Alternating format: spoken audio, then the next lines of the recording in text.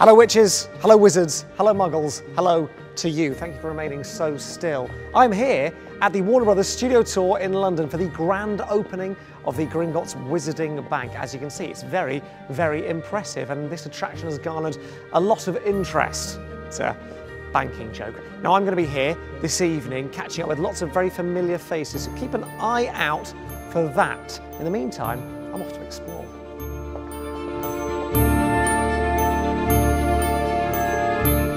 What's amazing about this whole place is that public get to come and visit real sets and real, you know, see all the real costumes and hair and all, all the props and stuff. Because there were going to be so many films with so many directors, they would build the entire thing every time.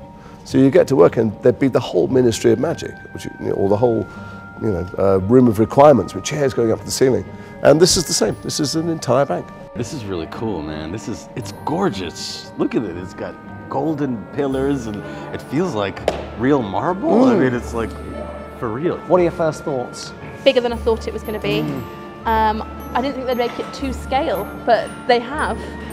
I think it's magnificent. I do love a big chandelier. Don't we all? Yeah, and uh, these chandeliers are pretty much to die for. They very much do draw the eye, those chandeliers, They don't do, they? Yeah, yes. yeah. Imagine you're storing something here at the Gringotts Bank. You've got a vault. What's going in the vault?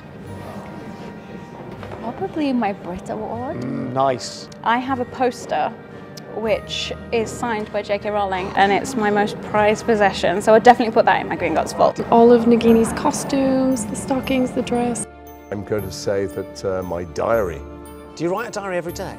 uh, never written one in my life. Oh, okay. But I'm on a, I'm being interviewed. by You're being interviewed. So I can make up lies. You can make up lies if you Yeah. want. I was about to say that's really interesting. I've never met anyone that writes a diary, and I still haven't.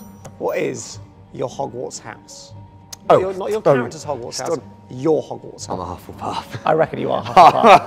Hufflepuff, Deep mate. Through and through. Oh, Slytherin. I'm a Slytherin too. Do you think so? Devil has all the best tunes. Do you think I, The I, lights go out in Gryffindors when the lights come on in Slytherin. I like to think I'd be a Gryffindor, but deep down, I know I'm also a Slytherin. So I'll see you in the common room. Excellent. Well, there you go. Thank you so much for joining me here at the grand opening of the Gringotts Wizarding Bank at the Warner Brothers Studio Tour London. It is time for me to say goodbye now because I've got a very big night out planned with this guy.